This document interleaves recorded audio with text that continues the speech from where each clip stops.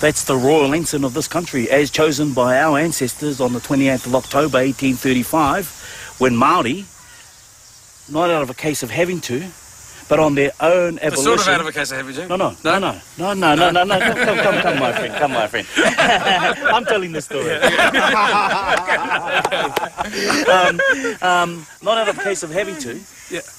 Out of their own abolition, on the 28th of October 1835, declared their sovereignty to an international arena, to France, America, and England. Right. Those three countries were the three major powers that were operating throughout the Pacific, and at that time in history, they were extending their colonies or extending their empires. They needed access to a whole bunch of resources that would sustain the colonies that they had established in hmm. their islands. They didn't have any place but the biggest island in the South Pacific, which happened to be these islands here. And in 1835, on the 28th of October, to a 21 gun salute from three warships, one from England, France, and America, our people were recognised as a sovereign independent state internationally. That would give rise to what would take place five years later, known as Te Tiriti o Waitangi. The celebration of Waitangi is about celebrating Waitangi. Hmm. It's about memorialising the event that took place on the 6th of February.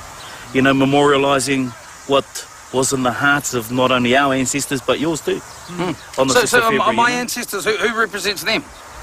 Oh, well. Wow. Who Your knows? government, I suppose. Yeah, the Queen. Your government. The Governor General. government, as well. government. Because It's we don't believe well. we don't believe that it's our government. you see, right. you see, Yeah. our government we believe that your government's supposed to be looking after yourselves. Right. Our government is our. We want to be our own government. We want to govern ourselves, and we still on the belief that no, that doesn't belong to us. Parliament doesn't belong to us. Some of us won't even go on a roll. Some of us won't even vote. Mike, the 6th of February was about two leadership authorities coming together, one being the owner of everything, Māori, and Māori, that, gov- that governing authority, choosing out of three potential partners who they would take as a partner.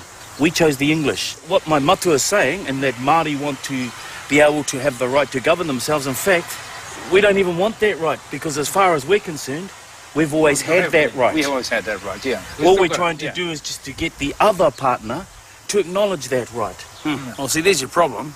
Yes, isn't it? That's the problem. They have not honoured the treaty. Nobody has honoured the treaty.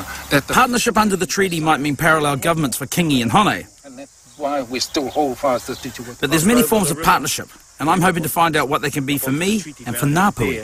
I think that we have honoured Te Tiriti o Waitangi in that, in as much that you and I are standing right here on Taurangatira, hmm. we're talking, laughing, having fun.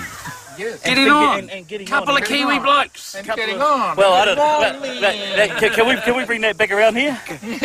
He's a Kiwi. I'm tangata whenua.